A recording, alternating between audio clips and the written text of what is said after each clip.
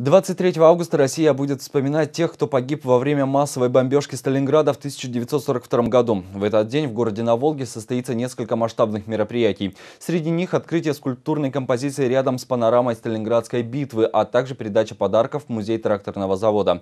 Один из них туда доставят новорингойские байкеры вместе с участниками Всероссийского мотоклуба «Ночные волки» и представителями общественных организаций. Первый отрезок пути вместе с участниками мотоэкспедиции преодолела и наша съемочная группа. Слово слова Павлу Прожогину. Идея байкерского шоу с уклоном на военную историю нашла отклик у мотоциклистов со всего постсоветского пространства. Представители Ямала не стали исключением. Вклад жителей арктического региона в музейный фонд Сталинградской битвы будет весьма весомым. Подарок изготовили на заводе, который стал одной из первых целей немецких бомбардировщиков в августе 1942 года.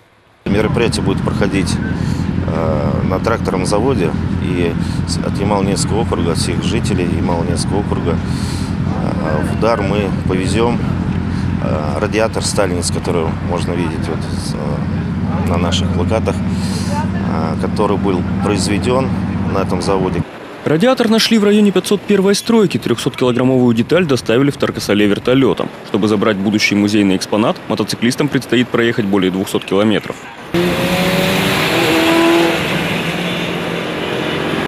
Федеральная трасса, по которой мотоциклисты добираются до точки получения груза, встречает участников пробега смогом и мелким дождем. В этом тоже есть своя романтика большой дороги.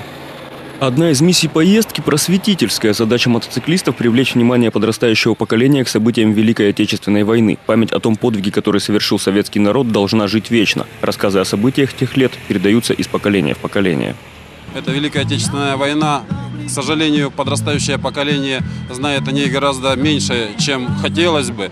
Э, вот этой акцией мы хотим привлечь в первую очередь э, внимание молодежи к такому событию, как 70-летие Сталинградской битвы. О нем должны знать и помнить все люди русские, которым не безразлична наша история. Доставка такого габаритного груза – занятие дорогостоящее. Здесь на помощь мотоциклистам пришли общественники. Представители регионального отделения Союза армян России полностью взяли эти расходы на себя. Мы являемся как бы в этой акции как официальный партнер по доставке радиаторов. Из Красноцелькупа даже, потому что там наши представители тоже очень серьезно участвовали. Это Газян Хачик, Хачи Маратович, который является депутатом местной думы. И моя отдельная его благодарность. До конечной точки Волгограда ценный груз преодолеет путь более трех тысяч километров, чтобы 23 августа стать музейным экспонатом, частью истории, воплощенной в металле. Павел Прожогин, Давид Давидашвили, служба новостей «Импульс» из Пуровского района.